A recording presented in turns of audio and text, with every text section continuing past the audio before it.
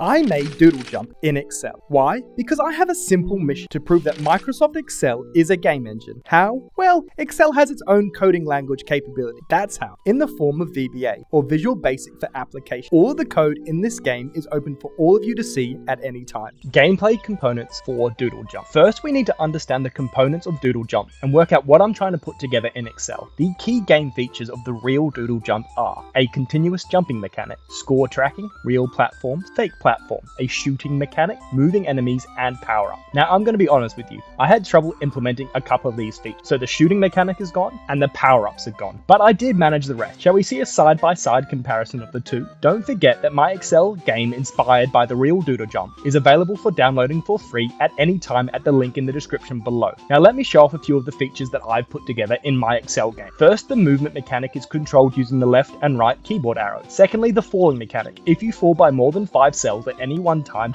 you will trigger a game over, like the real Doodle Jump. Thirdly, the monster mechanic. If you occupy the same cell as the enemy, then you will trigger a game over. Now, sometimes this mechanic is a bit janky, as the enemy character and the player character sprites occupy more than one cell. But who doesn't love a little bit of jank? Platform tiles. We have green, blue, and brown platform. The brown platforms act as the unstable or fake platforms in the game. Fifth is the victory and high score mechanics. Only on successfully reaching the top of the game, which trust me me, is a lot harder than it looks, triggers a victory condition and sets a new higher score. So those are some of the key features. I have a whole bunch of exciting games coming soon, so why not consider subscribing and sharing this video? It really does make a world of difference for me. Let's play a little bit, shall we? I must say I'm pleasantly surprised at how well the gameplay feels and looks. Don't forget this is Excel, a spreadsheet tool most often used for budgeting, schoolwork, or in job. It also has just about the right level of difficulty spike so that reaching the victory is difficult enough. You can also change the level quite a lot as you please please, within some key boundaries. Firstly, you can change the player character image by unhiding the player characters tab and changing the image under the picture ribbon. You can also change the monster sprites easily as well, but all within the Game Hub map. Just unhide it, change each picture within the picture ribbon as you please, but don't forget to hide both of these after you are done. You can also customize the level as much as you like, changing the location of any green, brown, and blue block, and the game shall continue to run. Just make sure to leave the topmost and bottommost blocks where they are. Now let's talk about some key VBA macros and formulas formula. For those interested, the VBA is unlocked and visible for, for all of you when you download the game. But let's talk about three key elements here that make this game possible. The first is the jump and gravity element. The check for jump function detects if the player is standing on a jumpable platform, either green or blue shape, and triggers a jump of six cells. It adds realism to the game's gravity mechanic. This is the center of gameplay mechanics, ensuring that the player only jumps when on a platform, just like in the original Doodle Jump.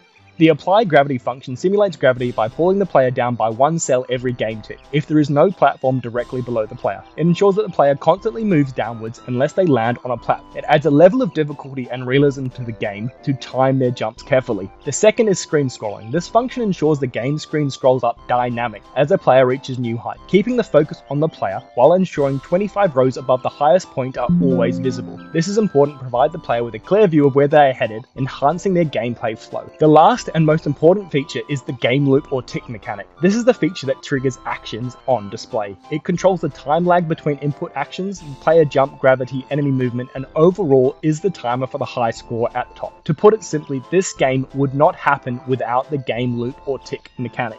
So that together is the game. If you managed this far, thank you for watching. Don't forget to leave a like or comment on this video and maybe watch another video on my channel. See you next time.